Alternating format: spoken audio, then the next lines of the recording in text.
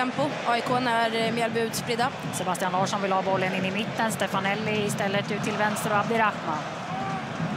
Mjällbyspelarna samlas ett snabbt eget straffområde. Abdirahman utmanar på nytt. Abdirahman försöker hitta in den där. Sebastian Larsson trampar lite på bollen sen och då kan Mjällbyspelarna få undan. Men han visar sina fina kvaliteter igen, Amar Abdirahman. Stefanelli, Lustig fortsätter framåt, in i straffområdet. AIK högerbacken. Stefanelli försöker hitta tillbaka in och här Kimpioka mot Mikael Lustig. Men det är bra räddning av Samuel Brolin. Mm, jag tror det flaggades för offside också samtidigt.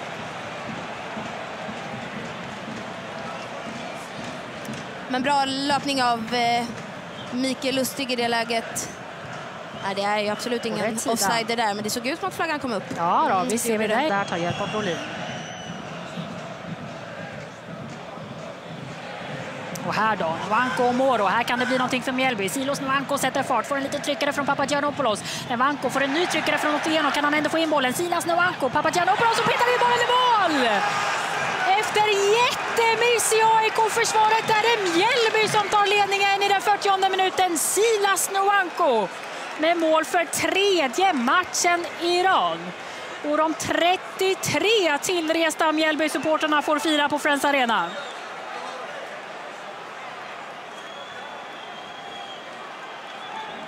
Silas Nwanko med sitt fjärde mål för säsongen och för tredje matchen i rad. Ja, eh, en av få gånger som eh, AIK går bort i det här läget och sen fortsätter det egentligen hela vägen. Svagt försvarsspel av Otieno i det här läget, svagt försvarsspel av Papagiannopoulos i det läget och missförstånd mellan Nordfeldt och Papagiannopoulos. Och vi var inne på det, de behöver inte jättemycket ytor de här två forwarden. Finns det en yta så kommer de attackera, de kommer gå hela tiden. Det känns farligt varje Ja, det gång gör de är ju framme det. den där duon. Mendes. In mot bortre. Brolin når inte dit och här då, Erik Otieno!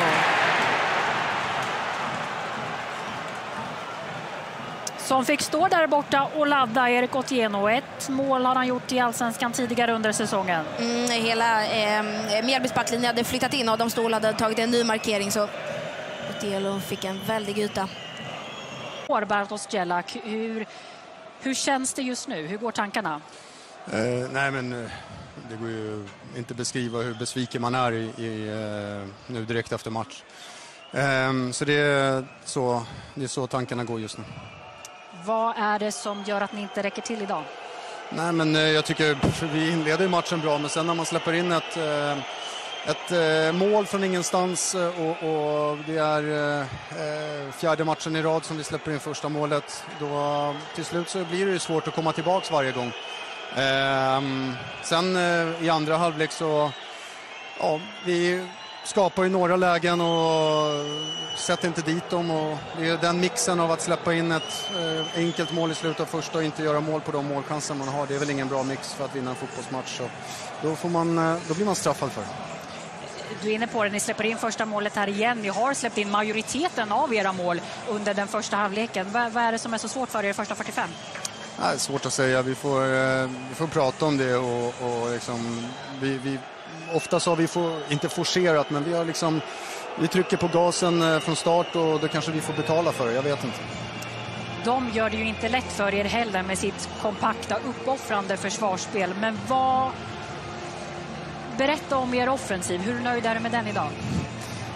Jag är inte alls nöjd med den. Eh, Jag tycker första matchinledningen är ju, är vi ju, skapar vi ett tryck på dem, men eh, sen därefter så det blir liksom försök till väggspel, lite för enkla misstag. Vi, vi pratar om att eh, ibland komma in bakom deras backlinje med inspel, inlägg och jag tycker inte vi gör det tillräckligt ofta.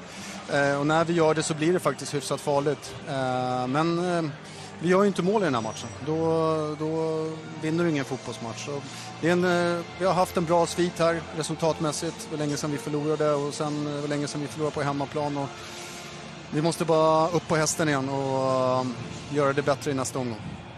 Nästa omgång som gör mot Elfsborg på bortaplan. Eh, du är inte nöjd med offensiven idag. Ni har ju också många viktiga offensiva spelare som saknas. Jordan Larsson har nu försvunnit. Han har lämnat AIK. John Guidetti är ännu inte spelklar. Han är inte där heller i matchen mot Elfsborg. Eh, Nabil Bahoui är skadad. Hur tänker du kring just det offensiva spelet här nu i en, i en match som väntar nu mot Elfsborg? Vi måste bara försöka och jobba med det vi har. Det är, det är inte mer med det. Vi måste liksom försöka öka våra sannolikheter till att komma till eh, bättre målchanser chanser och det är det, är det manskapet vi har och liksom, det går inte att skylla på någonting utan vi får se till, vi som är här, och, och göra det bra, så även jag. Tack så länge Bartos. Tack.